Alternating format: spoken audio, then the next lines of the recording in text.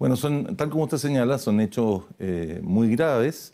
y es efectivo, tal como lo, lo manifiesta que la Fiscalía Regional Metropolitana Oriente hoy dispuso abrir una investigación de oficio con el objeto de efectivamente esclarecer eh, estos hechos, determinar si se cometieron delitos, cuáles, cuáles habrían sido en los delitos cometidos y seguir adelante con una investigación penal. Esperamos que confiamos en que la fiscal Lorena Parra, que es la fiscal regional metropolitana Oriente,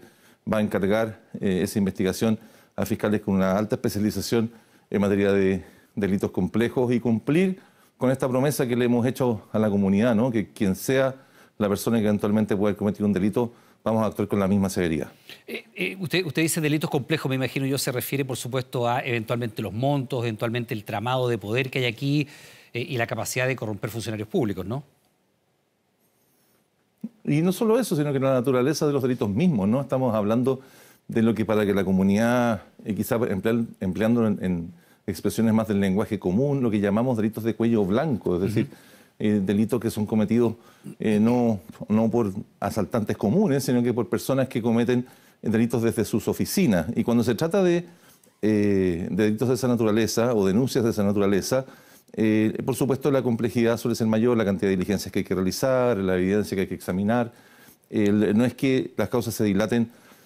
o, se complejicen, o que, porque simplemente la intención es porque no se ponga mayor cuidado, mayor eh, preferencia, prioridad en ellas, sino que todo, más bien todo lo contrario. Son delitos que requieren un conjunto de pericias, de investigación de correos electrónicos, de revisar eh, este audio al que usted eh, hace alusión. Entiendo que según se me ha manifestado, según se me ha informado, que se hace alusión a distintas actuaciones que afectan a distintos servicios públicos. No cabe duda que esto es un poco más bastante más complejo que investigar un asalto a una bomba de benzina siendo también muy grave un asalto a una bomba de Por supuesto, donde la evidencia La cantidad de recursos